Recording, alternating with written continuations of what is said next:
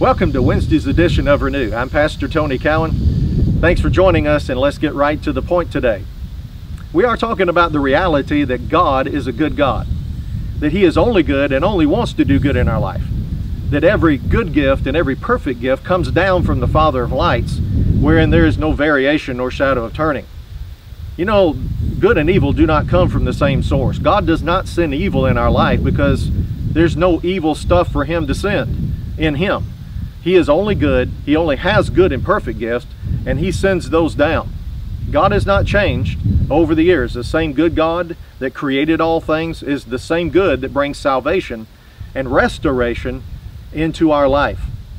Now we're going to look at a scripture today over in the book of Acts. Acts chapter 10 and verse 38. And it reads this way. Actually, this is the middle of Peter's discourse to Cornelius and the people who were gathered at his house, but I want to pick up this one verse here. It says, How God anointed Jesus of Nazareth with the Holy Spirit and with power, who went about doing good and healing all who were oppressed by the devil, for God was with him. Now I want you to notice right there that God anointed Jesus for a purpose. What purpose was that?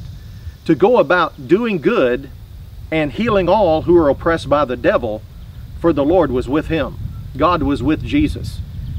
You know, it tells us over in John chapter 1 that no one had really ever seen God perfectly until Jesus came. This is John 1:18. It says, "But when Jesus came, he came to reveal God to us, to show us the Father's heart, to show us his purely good nature and his good intents towards us." Now I want you to notice not until that time we don't really have a full good clear picture of God. But when Jesus came what we see in the life and ministry of Jesus is the perfect will of God.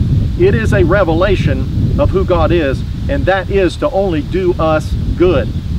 Jesus came it says uh, that God anointed Jesus of Nazareth with the Holy Spirit and with power who went about doing good. Now why do you think that's true? Because God is only good and only does good. He only can send good things because that's the only thing he's got. He doesn't have evil things to send into our life. The thief comes to steal, kill, and to destroy. Jesus comes that we might have life and have it abundantly. Now he specifically says that he went about doing good and healing all who are oppressed by the devil. So notice that sickness and disease does not come from God. It's an oppression of the enemy is something that the enemy does to try to steal, kill, and to destroy. See, we again need to make that distinction right there. Sickness and disease is evil. It does not proceed from God. God does not send it into our life in order to deepen our piety, to deepen our spiritual walk, to work out some mysterious will of God in our life. That is untrue. And if you if you believe those things, you come into a place of non-resistance to the thief and to the enemy to bring his evil purposes and plans to pass in our life.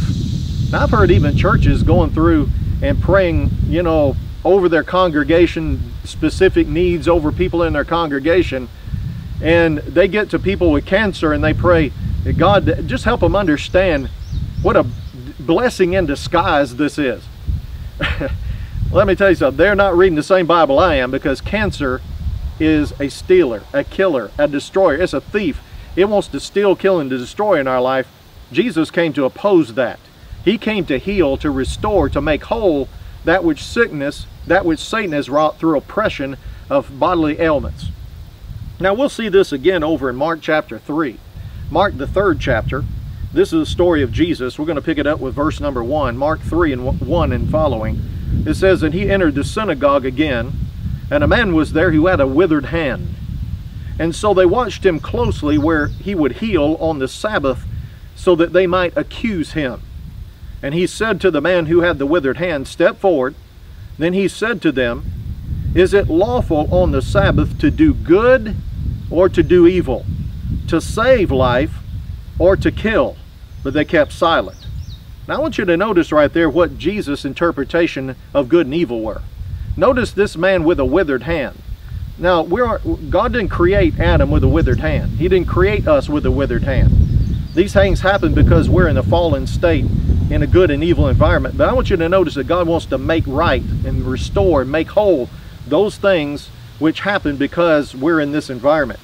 And so Jesus said, This man, healing this man with a withered hand, is a good thing. Withholding something good like healing from him would be an evil thing. Saving life is good, destroying life is evil. Now we need to get that right. This is according to Jesus right here. Now Jesus went on to call that man up. He said, Stretch forth your hand. And that man stretched out his hand, and it was as whole as the other. Jesus didn't say, God sent this evil into your life in order to deepen your piety and teach you a lesson and teach you some spiritual things. No, Jesus, this was unacceptable to the Lord.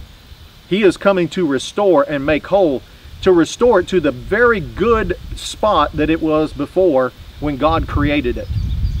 Yeah, I'll tell you, that's good news. You know, when you just find out what really God views good and evil are, according to Jesus, that he heals all who are oppressed by the devil. It's God's will to restore any and all parts of our life, to make them whole, to bring good into our life.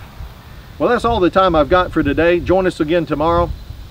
If you'd like additional resources and materials, go to tonycowan.org. We'll see you tomorrow.